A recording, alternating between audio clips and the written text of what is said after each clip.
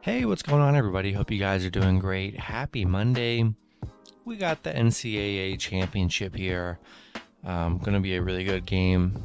Was a good weekend too. We had uh, UNC knock off Duke, and then Kansas, you know, beat up on Villanova. But going to be a great game here. That Duke game was really good, and I'm um, hoping for a really good game here as well. So yeah, be sure to like and subscribe. Check out all my links in the description below. And if you guys want to bet on simple player props for this game tonight, go and sign up with Parlay Play. Get free entries just for signing up. Use them on here.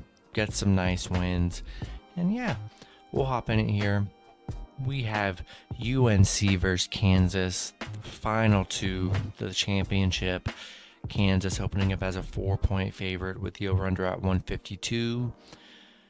These teams have played three times before Kansas winning all three of those matchups and covering the spread in those matchups. Uh, UNC coming off that four point win over Duke. Kansas coming off that big win over Villanova, 81 to 65. UNC 5 0 covering the spread during their five game win streak. Uh, Kansas on a 10 game winning streak, 7 2 covering the spread. Uh, don't see any injuries for this matchup here. I mean, yeah, it's basically a pick 'em scenario. It's who do you guys want to win here? Who you guys been riding with? Two really talented teams. I mean, it's crazy North Carolina got here. They're a really good team. Um, and uh, yeah, they have really good bigs, and their guard play is pretty good too. Kansas, all around, great talent. Gonna be a good game here. I think I've rode UNC plus money this whole tournament pretty much, and they've been nothing but cashing. And um, I want a nice underdog win for the tournament here.